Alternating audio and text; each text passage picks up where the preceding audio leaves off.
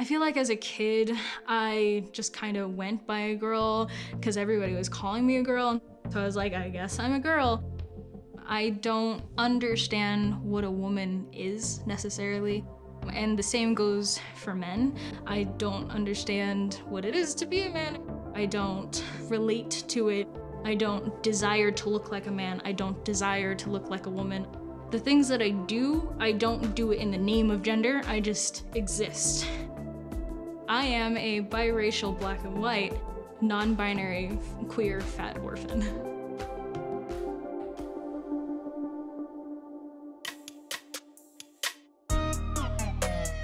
I'm Richie Shazam, artist, model, and fashion photographer.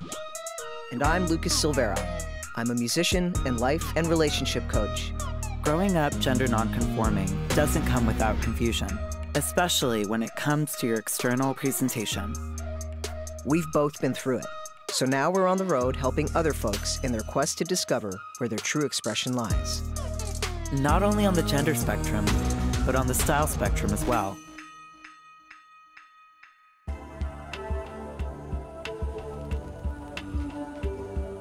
I'm Prism C. Mist Zephyr. My pronouns are they, them. It means a lot to me to put in every single identity because it kind of like paves my path in this world. Hi. Welcome. I go through this world thinking about how I'm being perceived all the time. Why don't you tell us a little bit about who you are? I just don't understand the concept of being a man or a woman, and I don't understand how my body necessarily speaks to one or the other. I'm fat I'm a biracial black and white person. I'm also an orphan. And it's just another way in which I'm an alien to the world around me. Especially when I was a child, nobody could ever relate to that concept. They couldn't even imagine not having their mom in the morning to like make them breakfast. When I was 10 years old, my mom had a blood clot and they gave her the wrong dosage. The combination of both ended up killing her. I lost my dad when I was 13 years old, and when I was orphaned completely, I moved out to Sandy Valley with my grandpa. I feel like it taught me to raise myself and have more adult qualities at a younger age and yeah. be more responsible because there is nobody around to really teach me that stuff. I, I too, you know, losing my mom, feeling like I had to grow up so quickly and sort mm-hmm. of be this adult and have to like take care and nurture myself right. sort of against all the odds you know mm-hmm. it was so difficult but i built my chosen family like the people that uplift me and really want to hear my voice not silence it so you've brought up the word and you know identity of being fat what does that mean to you going through my life as a fat person i've always been fat I never chose to be fat, and yet people always see it as a choice. I just remember having this epiphany one time when I was like a kid, started understanding why people were being mean to me. Like, oh, I'm the fat kid. By identifying it and reclaiming it, I'm using it in a positive connotation, or at least a neutral connotation. For me, the biggest thing that I need to do first is um, kind of lower the levels of internalized fat phobia within myself. I get dysphoria thinking about my body and that is it too fat constantly and how I'm holding myself. And so just the idea of being perceived can cause me to dissociate.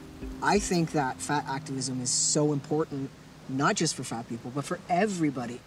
So I really want to know, Prism, like, what's your ultimate fantasy? What is it that we can help you with? It would be to actually be perceived as non-binary, and hopefully finding a place um, within myself where I can finally be comfortable like expressing myself totally. Misgendering is a constant for me, and so I would love it if I could just go one day going to any public place and not be misgendered at all. I'm just trying to live day by day, and we need to stop making it hard for me to do so. I know we're attending your incredible name change party. Tell us about the power of your name, Prism. I really just love the imagery of it. I just love the concept of taking white light and turning it into a rainbow. yeah. It was important for me to change my name because I knew I was going to go by it for the rest of my life. And I didn't want to keep having that weird conversation of like, oh, why does it say this on your driver's license, but you call yourself Prism? How do you want to present at this party? I would like to have something, an outfit that is as surprising as the fact that I've changed my name. I want to be just more queer looking and more open, so I want to see how I can have like big, bold shapes and colors. I want to stop dressing for others and start dressing for myself. Period. So my friends can look at me and say, "Oh yeah, that's the prism that I see, that I see for myself as well when I look in the mirror."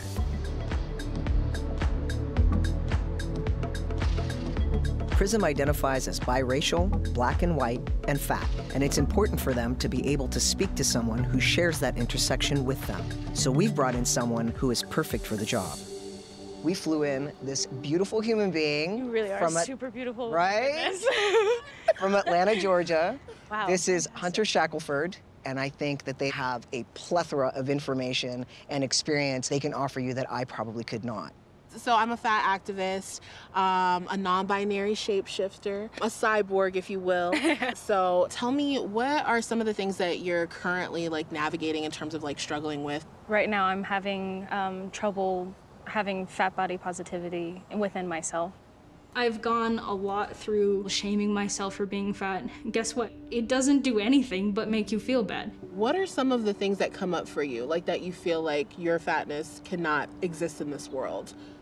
I feel like I especially kind of look like a, a, clown or a zoo that everybody likes to just kind of point at and laugh. You know, if I walk into a classroom and the desk is too small, I feel like everybody's paying attention to that. People don't believe that there would be dysphoria for being fat when there actually is, especially when constantly people are talking about the way that your body looks it's such a derivative of how anti-blackness works to to really like to center you in everyone's world where everyone's saying like they don't want to be you. I think for most of my life i was bullied for being fat and it was really its own hell where all these people are just like wow why would you wear that? or taking pictures of me while i'm eating. It was super hurtful. These things are very violent. There was a point for me in high school when I realized that it was really going to be me versus the world. I was gonna be fat unapologetically. And if people hated me, then that's your problem. For me, I found my way through that by finding other people who were like me. I exist in primarily white and thin spaces, and people don't want to see fat as an issue. People want to see as like a problem to blame me for, and so it's really hard to find people that want to take it seriously and see that there's systematic issues behind it sometimes you just want people to, to, really just support you, like to just really be your role dogs, where it's just like, yo, I just need someone who gonna yell at the people with me, or just catch it before I do and then protect me from it. How do you make yourself have more positive thoughts towards your body when you're looking at it directly or looking at it in a mirror? I love to say that I am valuable when the I hate myself monster comes over and it's like, wow, you really ugly. Like, what's up? Like, that's really what it be feeling like. And I'd be like, okay, and I'm ugly, so now what? I will have a conversation with the worst voices in my head and ask the question, why don't I deserve to exist, even if that was true? One of the most valuable places of your journey is to recognize like what spaces that you want to grow in or what mechanisms that you want to apply to your life just to say that you have survived thus far right? And so look at you doing your thing so i just want to say shout out to you because you're doing it. It's not likely to change in a way that society will be satisfied by it.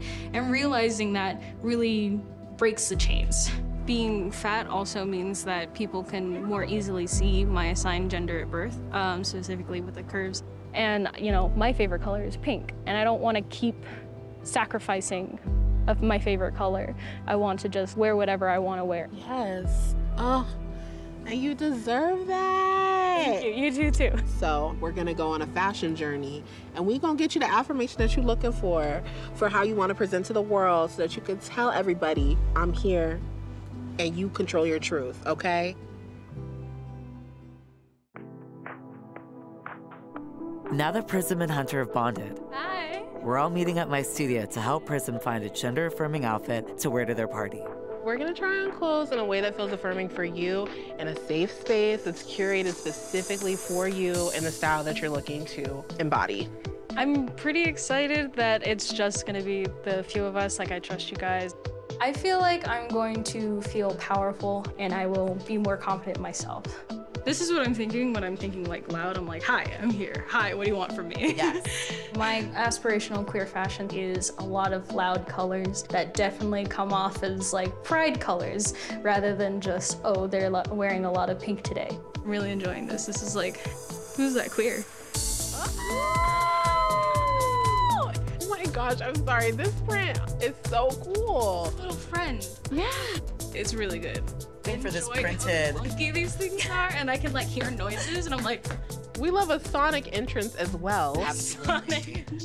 It's the jingle for me that I like specifically. It's giving liberation. Yes. It is. Clothing is a performance in the way that other people might see gender as a performance. And so I just want to perform being queer. Everything about these pants I'm living for, just like There's a this, pink like- etching. Exactly. Isn't it? It's really this 90s inspired look, like really comfy, really loud print, and obviously has a lot of our pink fantasy. Both of the pieces were like size to me. It, it, I can't imagine anything better than this, honestly. This is definitely the outfit that I'm wearing tomorrow. Yes. We love to see it. Wow, who is that? Prism. Prism will be surprising their friends with their official name change certificate at the party tomorrow. But there's one special person who they want to tell first. I was always very curious about why my grandfather was very accepting of trans people, and it turns out he is a trans person. What a interesting way to grow up. What was that like? It was interesting because he didn't actually start presenting like that until after I came out as non binary to him. It was good to have a person who I knew all along was trans supportive, but I didn't know why he was trans supportive until he came out himself. I think that my rejection of the binary helped my grandpa with his rejection of the binary because I came out before him. I thought he was cis, he thought I was cis. Like, by being my true self, he realized, like, hey, there is no reason that I can't wear jewelry and makeup and nails. My definition of family is the people that you choose to be in your life. And that could be friends, that could be adopted family, that could be blood family. Like, I keep my grandpa into my life because he and I already made a friendship.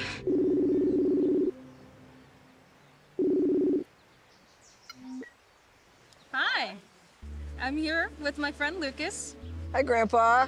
Nice to meet you. Nice to meet you too. We're just sitting outside my apartment and we had something we wanted to show you. You ready?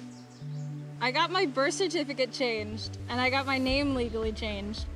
Oh my God. Yeah, right? This is quite a big deal, isn't it? Yeah, I know, right? it's gigantic. I'm very happy that you are at the moment you want to be. Thank That's you. That's what matters. Yeah, totally. That's beautiful to have such a supportive person in their life. They are very strong individuals. Thank you. what a pleasure it was to be a parent of, of Prism. It was tragic, but yet an honor and a pleasure. Thank you for uh, letting us call you today. I love you and have a good day. You have a great day too, honey. I love you too. How comfortable do you feel being emotionally vulnerable? I do it, but it does cause a lot of anxiety, and I live with anxiety pretty much every single day. I always think that I learned my lesson of like, I can't be vulnerable to these people because they're just gonna end up rejecting me anyway. That perspective may hold you as a little bit of a prisoner because unfortunately, we can never control what the people around us are going to feel about us, mm. how they're going to treat us. For queer bodies, fat bodies, if it's different from a mainstream ideal of beauty mm-hmm. or heteronormativity or cisdom, we are taught that we're not normal. Right. You're taught that we are not beautiful and that we don't fit a standard. And it's up to us to truly just go, I'm here. If you're not into me, if you're if you think I'm this, that, or the other, that's your problem. But I'm still gonna be here. And what ends up happening in these situations is that the people who will automatically be attracted to you mm. and your self-love, mm. they'll come forward. And the, those other people will fall back. Mm. Yeah. So don't forget to take off the, the armor once in a while because you're transforming people. Mm-hmm. You're creating change just by being who you are.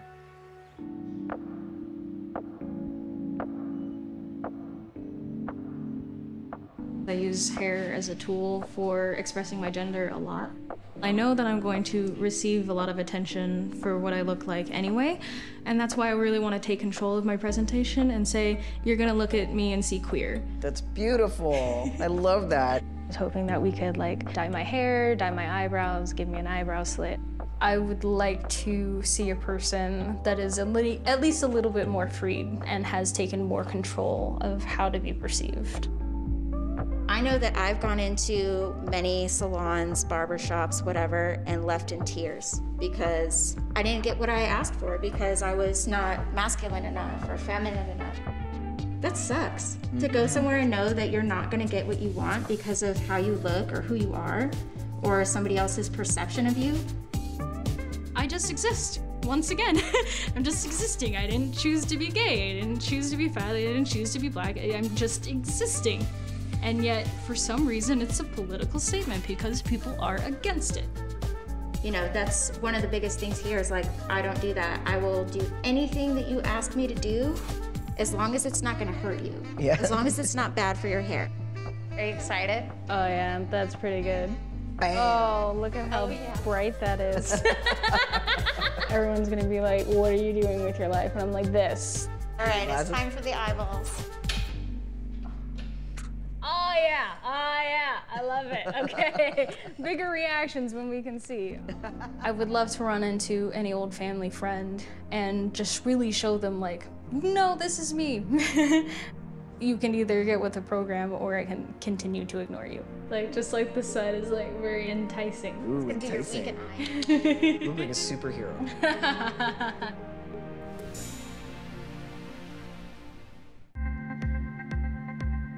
It's party day, and I've brought a makeup artist to Prisms to help them apply some paint to complete the look.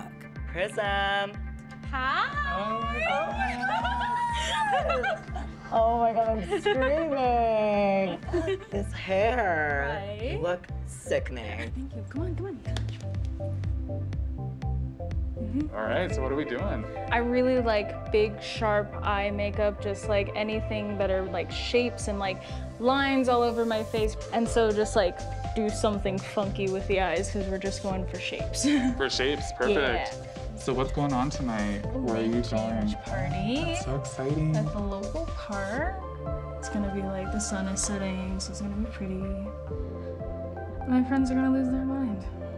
They're not ready for this. They they really aren't.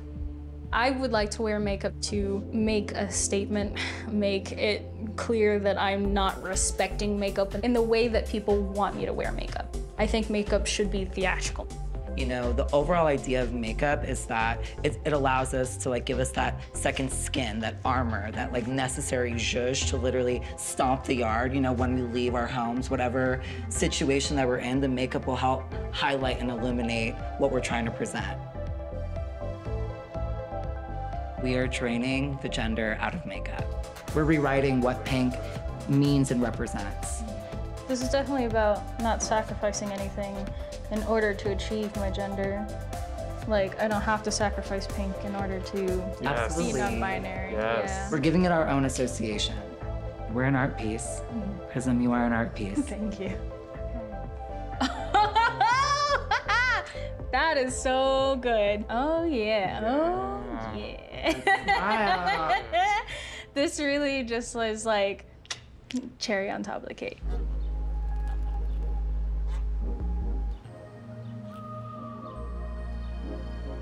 We've gathered all of Prism's friends to help celebrate their new look and new name. Are you guys ready? Here's Prism!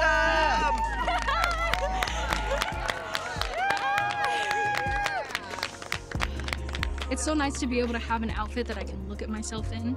And instead of allowing the internalized fat phobia to be the only train of thought that I'm having, instead look at how this is my favorite color. This is such a wonderful shirt. And I love the makeup on my face and just be happy for the body that is in front of me. I know we're here to celebrate this beautiful outfit, but I have one more surprise for the rest of you, which is I got my name legally changed! It's on my birth certificate! certificate. It's important to me to gather my support system, really, and have them celebrate with me something that they've actually understood and respected and been appreciative that, uh, you know, I changed not only my first name, but my entire name. They understand how much importance it has for me. You look amazing. I'm, I'm blown away. I know, right? And Everything. I wear this outfit. I definitely think that whoever looks at me will see that this is not cis and definitely think queer. You look so good. oh my. I'm more confident than I was before, and I'm more energetic than I was before, and I'm louder, and I'm taking up more space, and I'm so happy to be here with people I care about. Prism, it's been such an honor to spend this time with you and to be surrounded by all of this love. We got you a special present. No, no, yes. no, no. We've already had enough presents. the power of this present is something for us as a token to remember this moment. It's a special little nameplate. Are you kidding me? You know, our names are very important. They affirm our identities. We love you so much. Lucas and I are so happy that we got to have this moment with you. Oh, thank you so much. Are you kidding me? This is so good and perfect. I'm so happy to be able to share these moments with my friends and Lucas and Richie. This could not have been better, honestly. And it goes perfect with our color. I was gonna say. Oh yeah, I'm here. I'm happy. Thank you so much. Thank you. Oh love you. I love you. I love you. I love you guys too. Oh my god. Okay, okay, okay. I'm here. We have been so focused lately on gender dysphoria and how to defeat body dysphoria, including fat dysphoria as well. But today I definitely feel gender euphoria and just being able to exist within my favorite color, within a beautiful outfit that was made for me, and be entirely happy.